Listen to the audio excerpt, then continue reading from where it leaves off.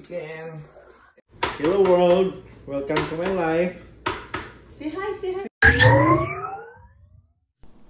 Hello guys, good morning. Ang ganda ng tulog ko ngayong umaga dito sa thriller nila ni Liza at Daryl. Para na rin ako nag-camping dito. Inom muna tayo ng tubig bago tayo lalabas ng thriller. Maganda yung panahon guys.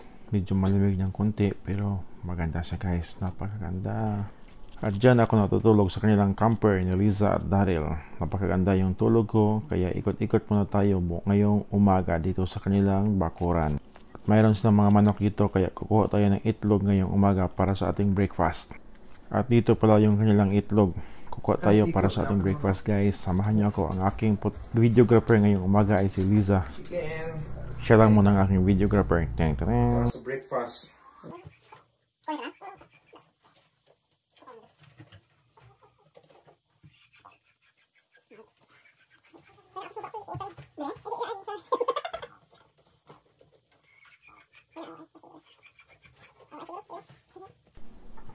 At naka-harvest ako ng itlog. Solved na yung aming breakfast ngayong umaga guys. At mga ka-life, yung coffee natin is almost ready na rin. At ito na, maghahanda na tayo ng ating breakfast. At si Lisa pala yung magluluto ng ating sinangag, yung fried rice natin Hello world! umaga. Welcome to my life. Say hi, say hi. Say hi. Say hi. Hi. Hi. Say hi. You're busy? Hi. At syempre magluluto tayo ng pork chorizo. At nilagyan ko siya ng tubig para mas lambot siya bago natin iprito. Yan na, oh, almost masarap, almost masarap, almost ready. Ting, ting, ting. Malinis ang kamay ko.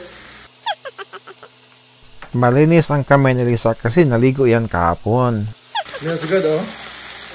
Smells good. Ayun na.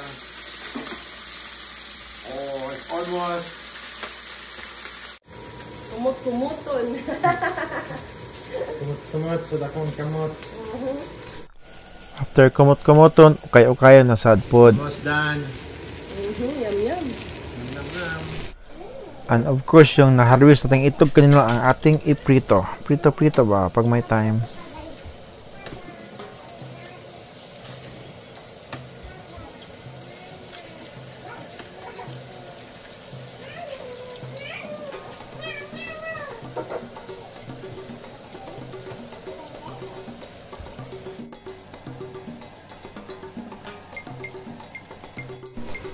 Salt and paminta lang ang katapat. Ayos na lahat.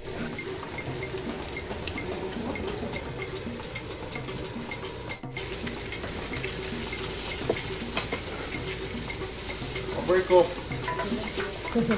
Ina na, let's eat guys. Kakain na tayo mga unta. Pang pamahaw na mo ni. Among pamahaw na yung kabuntagon.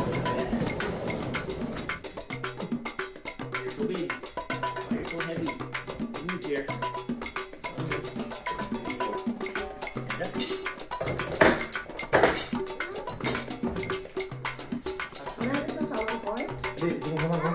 Ha? Okay lang po.